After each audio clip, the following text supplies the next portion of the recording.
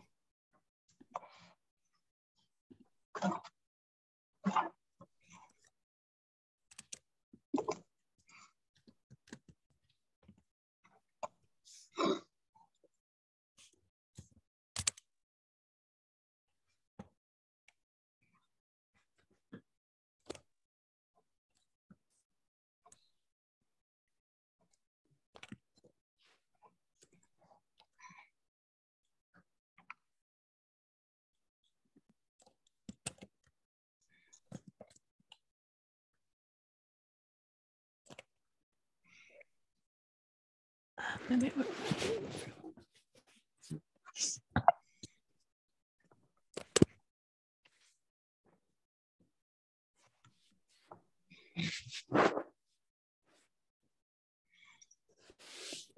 to put the directions in the in the chat again in case anybody um, anybody needs them.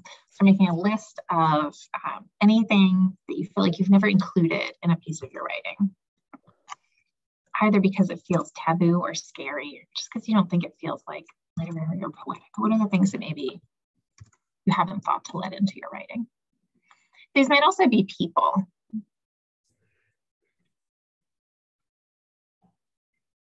Mm.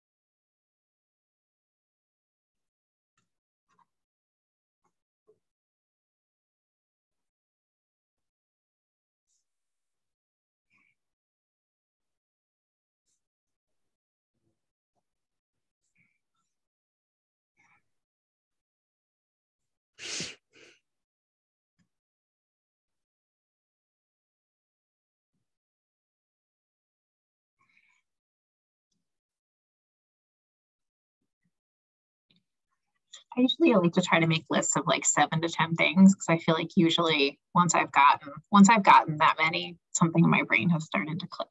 Like usually I'm, you know, two or three are kind of the obvious things. And if you keep going, you can find something more, more surprising.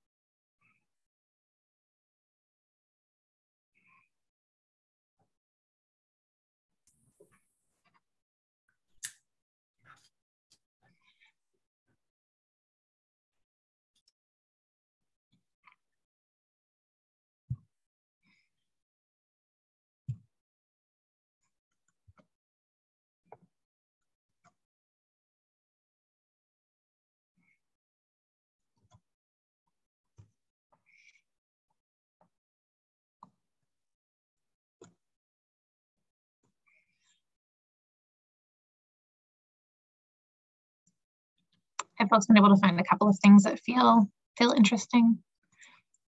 Okay. So with whatever you've got with your list, hopefully there's a couple of things that that speak to you or that seem like they might be interesting. Um, let's spend a couple of minutes doing um, just some free writing from those things. You could approach it as um, crafting an image, or developing a character or telling a story um, connected to your thing. So it could be like a scene of what happens at your local Wawa, if that's regionally resonant for you, um, or a uh, story of a particular time you went there, or whatever else. Start with one of those um, ordinary, kind of non um, literary places or people um, and see where it takes you. We'll write for about five minutes, then we'll have the opportunity to share if you want to share.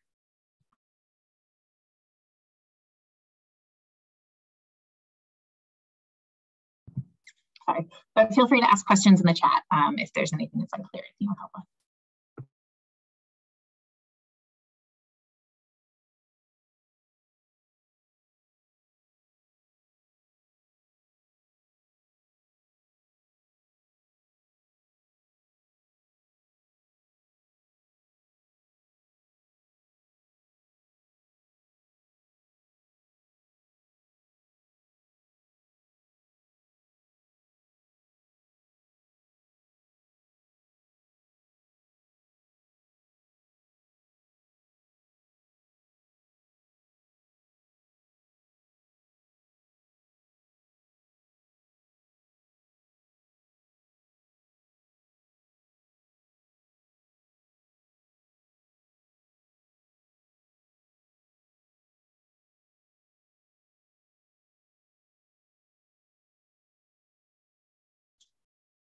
Could you write that in the chat again? I've somehow missed what you're saying. Sure. So yeah, so what I'm sorry, I will um, say it now and I'll add it to the chat as well. So my suggestion is to pick one of those things or maybe a couple if they're connected to each other um, and do some free writing. Um, and if you want more specific directions in free writing, I suggested um, doing it as a scene, like helping us to see what's happening there. Um, you could think of it as a kind of character sketch. Um, if there are people involved and you want to help us see them, or you could think about it as a story, a particular time that you um, you went somewhere. Does that answer your question, Jane? Yes, thank you. Okay, great.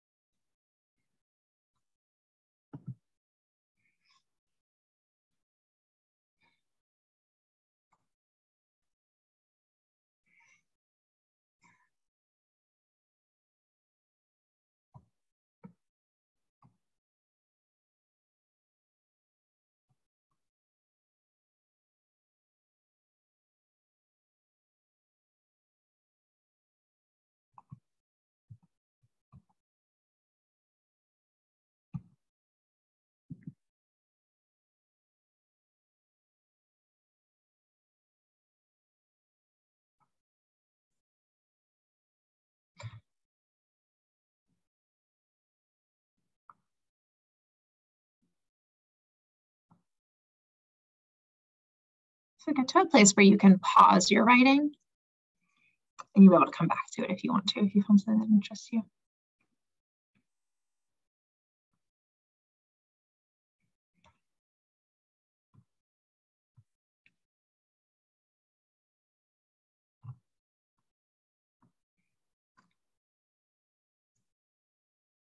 Okay, so if folks are interested, um, I would love to do some uh, quick introductions now. I know the focus is on, um, you know, kind of your time to write, but it also can be nice to know who you're who you're writing with um, and to feel this kind of, you know, sense of shared um, shared intention across the digital space. Um, so uh, do folks want to um, say something to introduce themselves you say something about what them brought them here, share a, a phrase from their writing? Is that okay?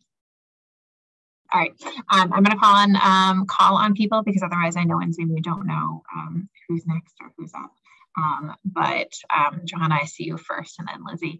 Um, so I would love to know, like I said, your name, something about what brought you here. If you're just a Blue Stoop regular, if there was something about this panel in particular that spoke to you, and then if you would share either what you were writing about or like a, a phrase of what you were thinking of. So like I said, Johanna, you're up first my name's Johanna. Um, I came to this workshop because many years ago I was Nancy's doula and I follow her on Twitter and I got very excited about this topic. Um, I uh, am currently, I was recently graduated um, with my master's degree in nurse midwifery, but a long, long time ago, I loved to write poetry and um, the time spent indoors with my family in the pandemic made me really want to get back in touch with writing again. So um, that's why I came today. And um, I ended up writing about the taking out the compost, which led to climate change, which led to my mom. Hmm. I love that way that like a brain can follow those, um, those things when you give it time to. Lizzie? Hi, um, I've never done one of these things. I'm trying to take myself seriously as a writer. Um, I'm a therapist and I recently read, I've gotten into like sad mom fiction, which is so awesome. Has made me feel so like seen. And it has also inspired me to like write about just my experience of being a mom. And so yeah, I just want to, I'm trying to like feed myself. So that's why I'm here. Oh, and I was writing about diaper changes. And then it turned into just like when I first had a kid. My kid's three now, but when I first had him, I felt like I had to be like interesting to my friends and that like they were yeah but and but i didn't have anything else to talk about or i couldn't find other things to talk about and i was just kind of writing about that experience and as Ashani just added in the chat, um, you are welcome to not be called on. Um, it's nice to, to be in conversation, but it's also totally fine to just be here um, writing writing yourself. Um, and I would say too, I love as a participant the chat. Um, yes, yeah, so feel free to use the chat. I love. Um, I feel like the chat in Zoom can be a great way of participating and just chiming in on what other people are saying. Um, Gardenia, I see you next. Uh, I'm very, I feel like I'm the I'm in Los Angeles. Am I the only one that's on the West Coast? the, I'm a native New Yorker, but I got I'm I'm stuck here for a little bit. So well, thank you for joining us. um, and I too, I feel like um, a lot of this uh, same both from Lizzie and Johanna. Um, I haven't written poetry since college. Um, and when I saw this pop up, I thought it was like a great opportunity to just reconnect um, and uh, sort of use a different part of my brain that I hadn't in such a long time. Um, and uh, I guess sort of also just what Lizzie was saying, you know, uh, uh, you know, becoming a mom and just the different experiences I have had as a Black mom.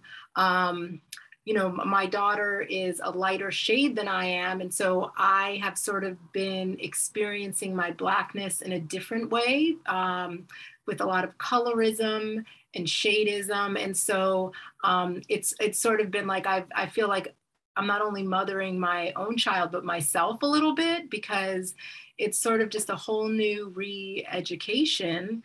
Um, and just, you know, there are no rules. It's it's sort of mm-hmm. just sort of going through it. And um, so anyway, it's, it's been a journey and I've started to write about it.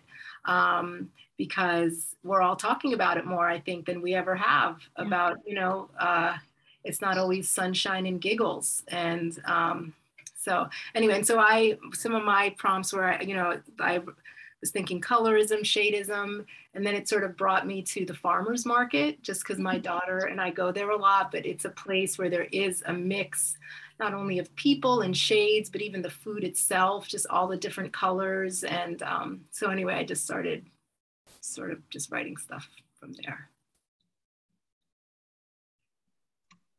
Rebecca, I see you next. And then you, you're after uh, Rebecca Marion. So go ahead, Rebecca, if you want. Yes. Hi. Um, so I am Rebecca. I'm in Boston. Hmm. Um, I actually follow, I get Nancy's newsletter.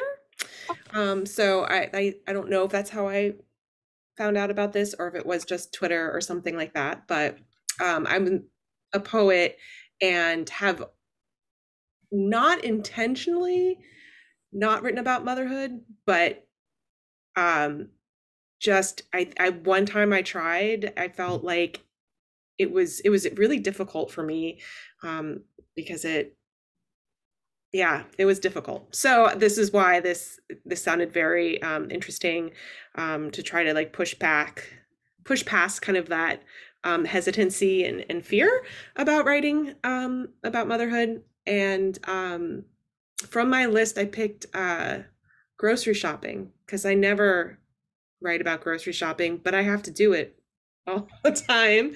Um, and about how it used to be like a very, um, like almost a date like activity for my husband and I. Um, and then how it changed during COVID to being like this dire, uh, stressful, horrible like type of experience. Um, and that's kind of where I got got to today. Thank you. I see you next, Marion. Yeah.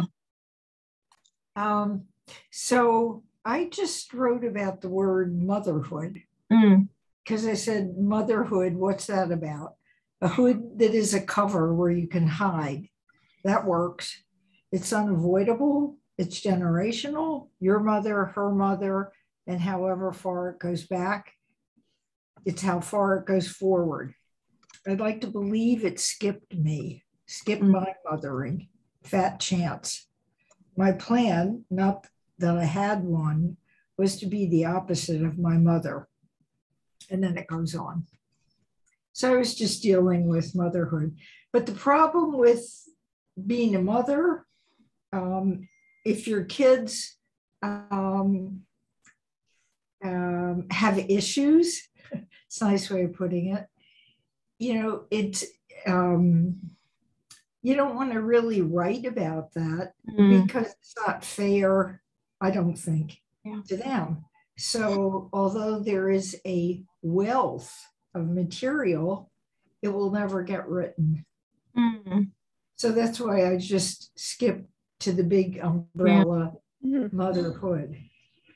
And hopefully you'll all be lucky and have great kids. saying about like being sensitive about like anytime we write someone else's stories, like we're and even when we write our own stories, we're touching on other people, right? Um, it's important to to think about that and to think about how we're um, you know being ethical in our representations of others. But i also think it's really important to not silence your own writing before you even start it right? Like i think there's a lot of value in at least getting it down and then thinking like maybe maybe this is not something i would want to share maybe i wouldn't want to try to publish it um, but i think there's a lot of value in at least trying to to clarify the thing for yourself through writing and so i hope that um, that's the Joan Didion approach. you write yeah. so you understand it for yourself. I don't want to do that. Yeah. but it's a way, it's something to consider. Yeah. Jane, do you want to go next and then you, JC?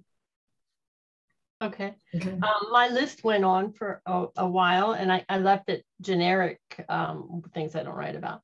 Um, the early ones were really sensitive, so I kept writing to get away from them. Um, but but one of them was a, a list of uh, grandparents I never met, and, and mm-hmm. looking at my grandfather was born in think we just 1869. Mm-hmm. Generations are really long in my family, and I was really late in my father's life. So the, about the three grandparents I never met was one of the bullet points, and the other one was about being resigned to some things. Mm-hmm. Um, last year, I had many, many deaths in my family, mm-hmm. and one, one being my mother, who I didn't enjoy. And that resulted in pretty much a whole side of my family just being jettisoned.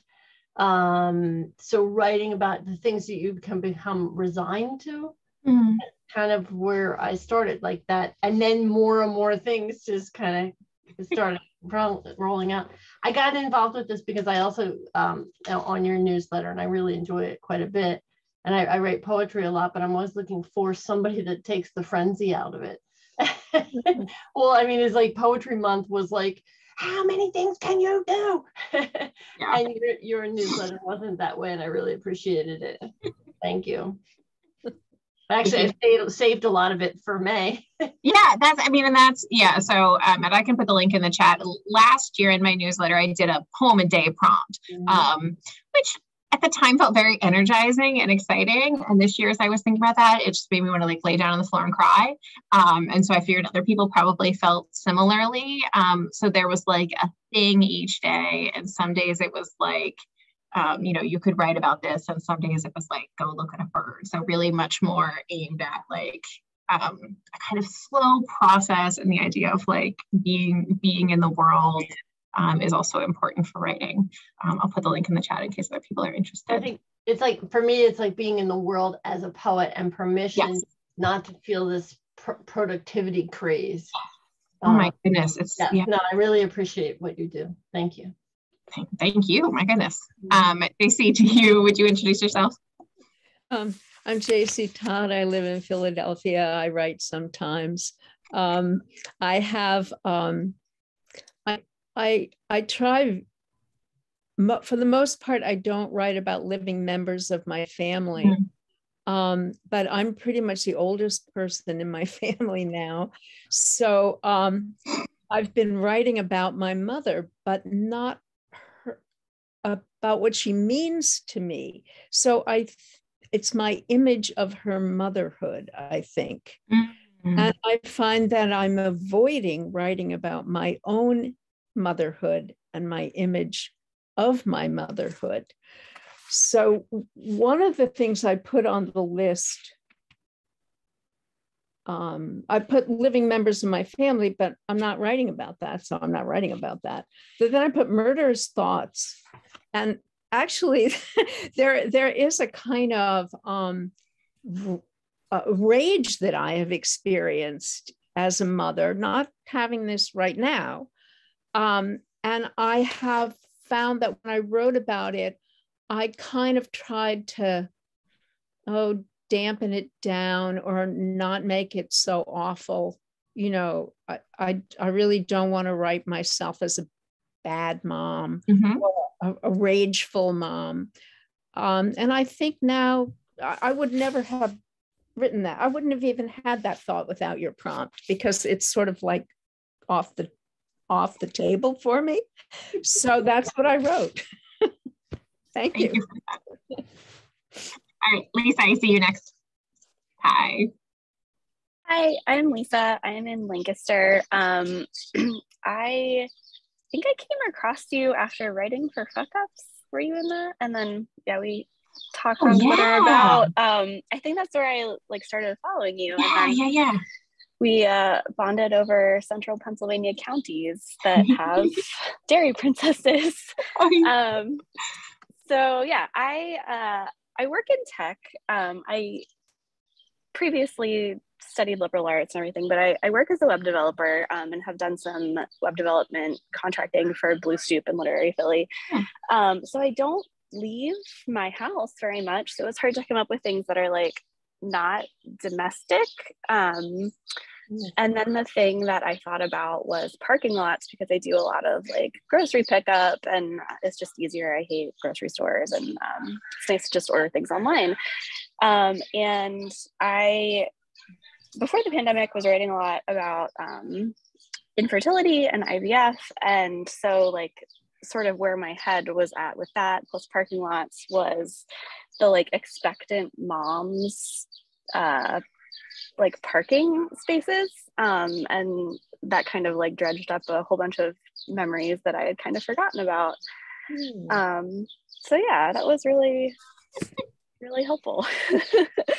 Laughing in recognition at like how those like really ordinary places in our lives can like pull up all of these things that maybe you didn't know um, were in there. All right, and Melissa, I don't think we've heard from you yet, but you're welcome to stay quiet if you want. Oh no, I'll, I'll sorry. I'll turn my camera on. My dog. No, hey, you do whatever you want. Straight now. Hello, your dog is beautiful. Oh, thank you. Yeah, she's like begging for attention right now. Um, I am trying to work on poetry right now. I lost my mom two years ago. Um, and so I was pretty young. I was like 25. Yeah. So um, I am really interested in the idea of mother daughter relationships, but also um, I've been reading a lot of sad mom fiction as well. And I just think that there's this like whole conversation we miss as women or people who can have children, like about the idea of regret or mm. like we said before because we i think are shamed on talking honestly about it and i don't have kids so i'm kind of debating if i want them um so yeah yeah I would say so. Thank you for that. I would also say if people have particular sad mom recs that they want to put in the chat, you should do that. I have like um, 15, but maybe I'll let you all um, chime in. all right, and um, Darcy, I think you're the last person we haven't heard from. If you if you want to participate, but you're welcome to also just hang out. Hey, hi.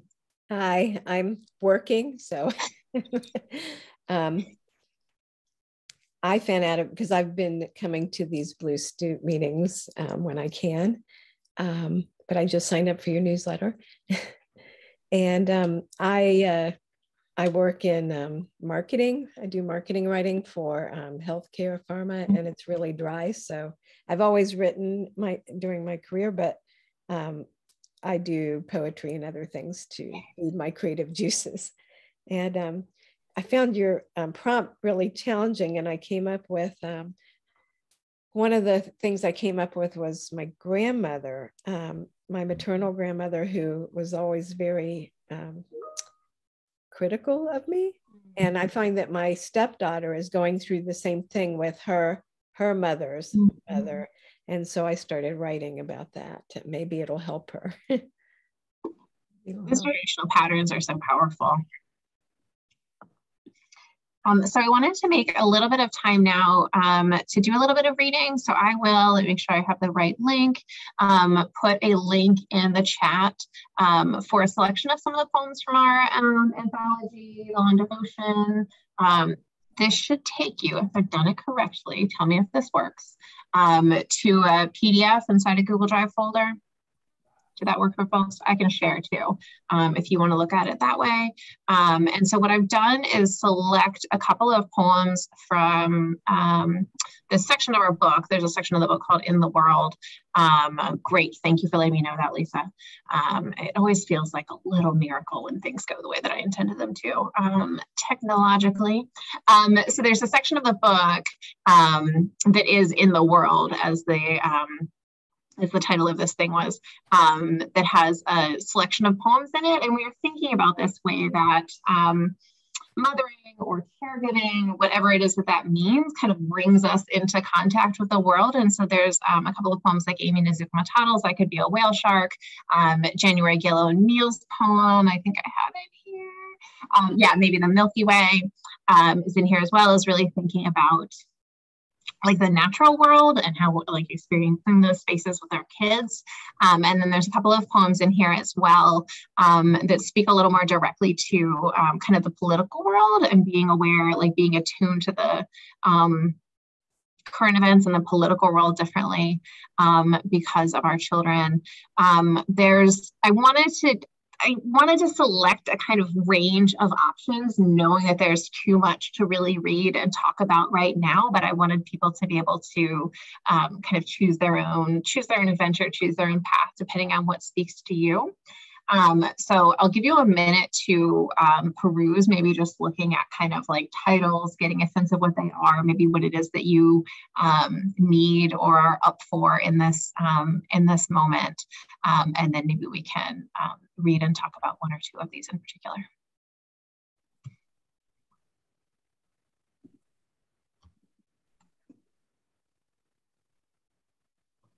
Yeah. So just scan and see what see what speaks to you.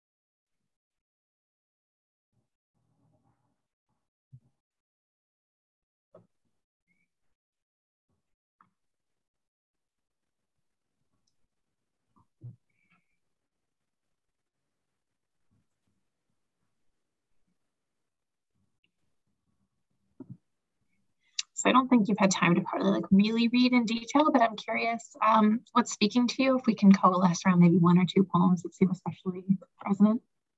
You're welcome to unmute yourself um, or just or time in in the chat.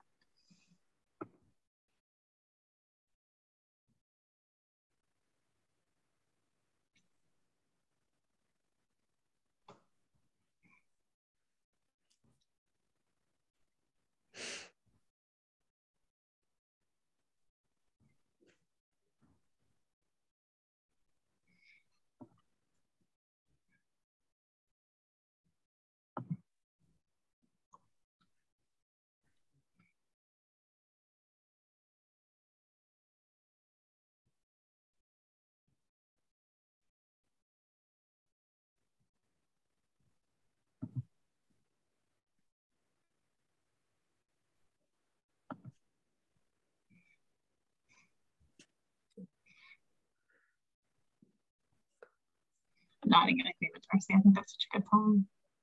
And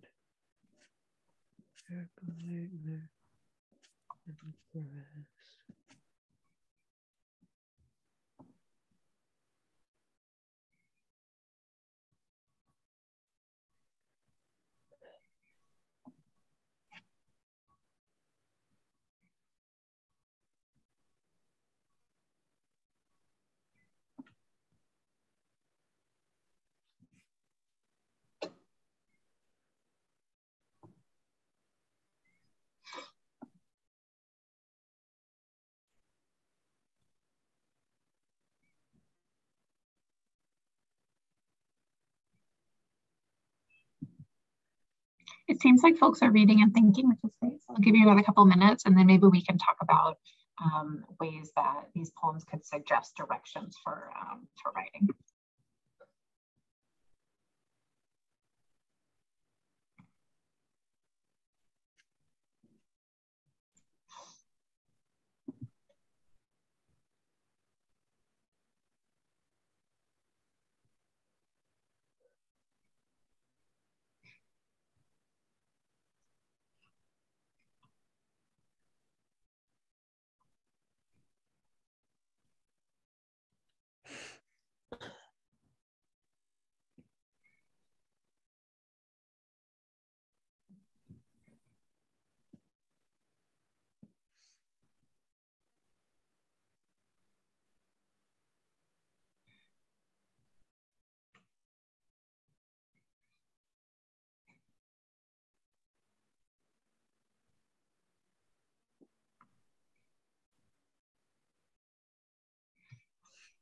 Wow.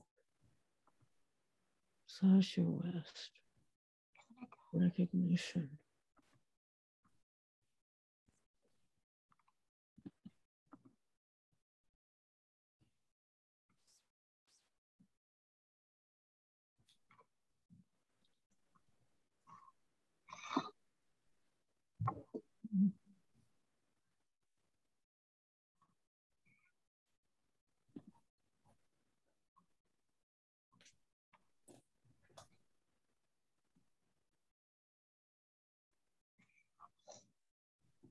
So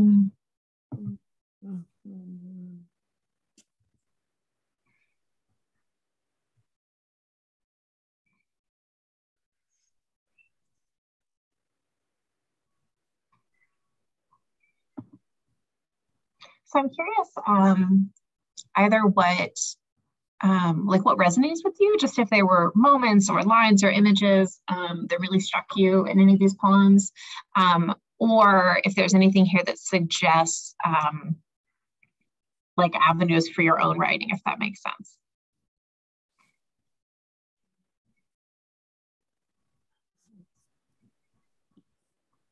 I would just start. I was just going to say that um, I wrote in the comments that one one way is about to write politically and about motherhood in the same way. Um, I really like those Erika and Emmy poems for that reason, but more for me as an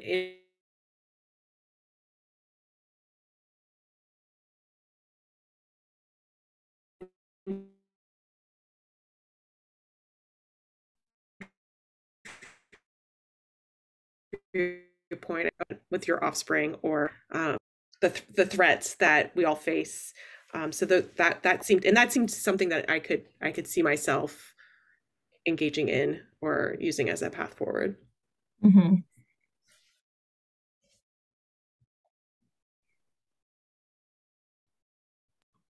In the first poem, I really liked the imagery of like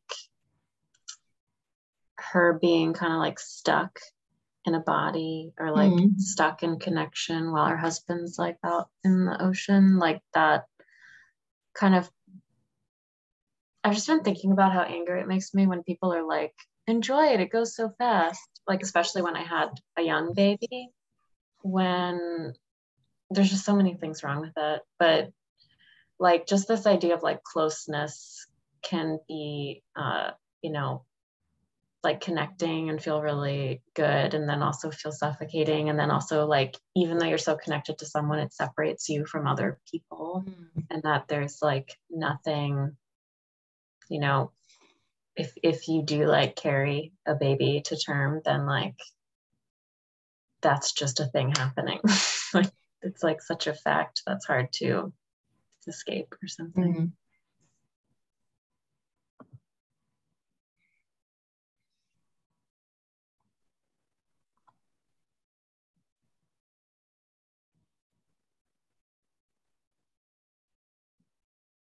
Um, I'll say the the in defense of uh, poem for me, it, it it made me pause and think. And Rebecca, I think you just used the word threat.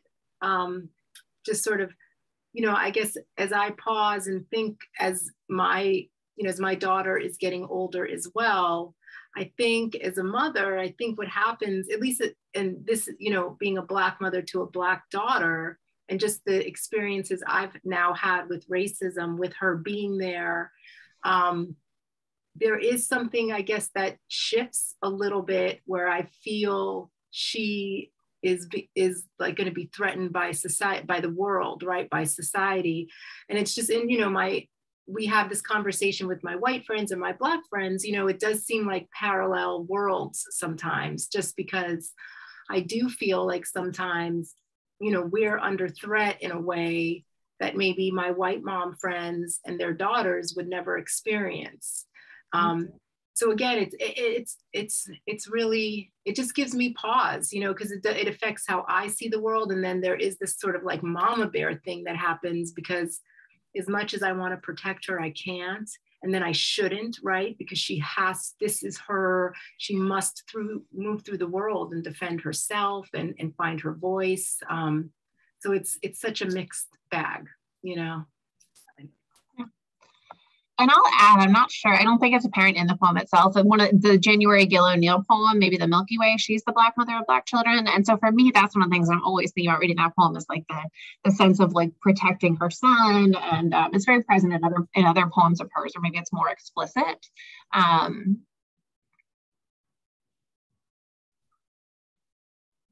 but that for me, that sense of like tenderness and threat is something that's always kind of present for me when I read that poem.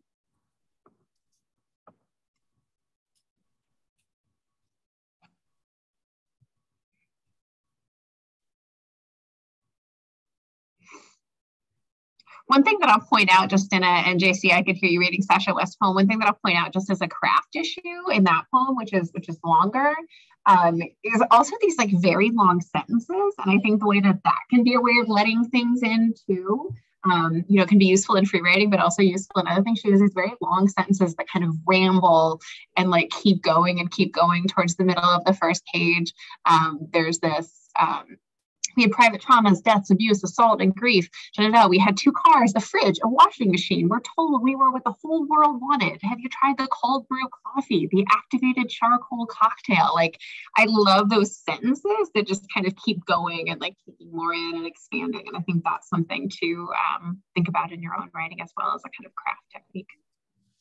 And I'd add that, I mean, I'm fascinated by exactly what you were talking about, Nancy. And then I see, like in the last, I don't know, third or quarter of the poem, um, you, you, you understand that all of this is held in her body mm. is also holding her child. Um, and, and then those long, rambly sentences, though they continue, they start to really drive in. And I, I, I was just astonished by that. I want to write a poem like this.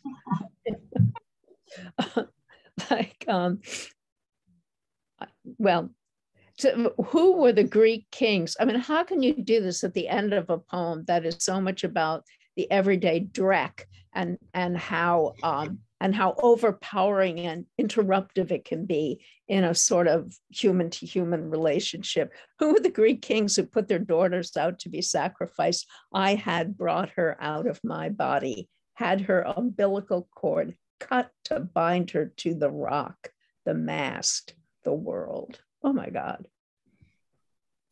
And that's one of the things that I think um, that I love about that poem that I love in poems generally is this insistence on like letting more in and letting more in and kind of and kind of going bigger. Um, and I think can be um, I don't know, just really freeing and really helpful for your own writing practice, um, especially if you are, as I think everyone in this group is, like in a place in your life where you're doing a lot of things and you're maybe not um, I don't know, like a poet living in a tower uninterrupted by the world with hours to gaze at daisies every day, you know, right? Like we all live lives that are like filled with dreck, as JC was saying, um, and maybe occasional moments of, um, you know, transcendence. And I think it's, it can be helpful to see examples of poems that are enacting that in a way or admitting those things um, that our own writing can do that too um, and can just keep kind of letting things in. So let's move in our last little bit of time. And again, I'll put the instructions in the chat as well. Um, uh, to think about either. So if you have something in your brain right now, if you're like, I want to write a poem like that, and like JC, and you're kind of feel like you're ready to go, do that obviously for 10 minutes. Like, please don't let my directions deter you. Um, my prompt though um, is to um, think about something you've learned through your caregiving. And this could be like my kids have each gone through a phase of like being super obsessed with space. And so I feel like I've learned a lot about space. Um, now they're obsessed with like Pokemon and Minecraft. And I've managed to mostly like not that let, let that into my brain, but you know, some of it gets in. Um, so something you've learned through your kids, and it could be an actual like thing that they've gotten obsessed with, or through your caregiving in other capacities, right? Um, if you are um, caring for animals, other people in your lives, etc. Um, or it could be something you've learned about like moving through the world, doing that kind of caregiving work. I think a lot about like um, walking with my kids, and they're smaller than I am, and they're slower, and they notice things differently than I do, and it's really like attuned me um, to the world world in a really different way. So think about something that you have learned through caregiving in some capacity and try to give us a lens into that. You might also just start with a list. I love lists. You could also, if that feels abstract to you right now, you could also just start with a list of um, ways that caregiving has kind of shaped what you see, what you notice, um, what you experience, even places you go, right? Like I'm in a lot of places because I have kids that I wouldn't have been otherwise. let's spend maybe like five minutes writing and then we'll have a quick chance to say goodbye at the end.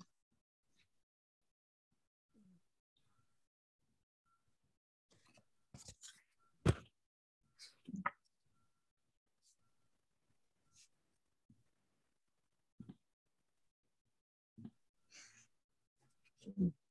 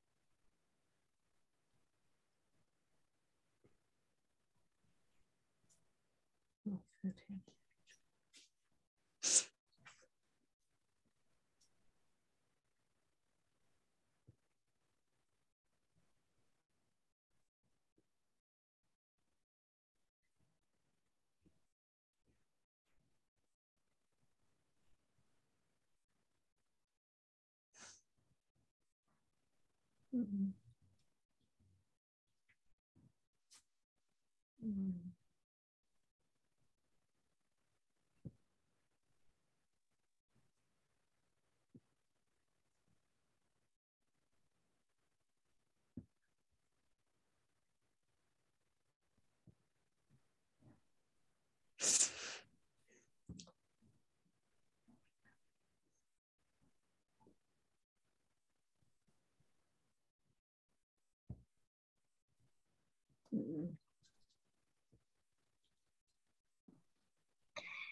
We are very nearly at time. Um, I would love it if you want um, if you would put a phrase or an image or an idea, if there's something from your writing that you want to share, if you would throw that in the chat, you are welcome to um, share that way.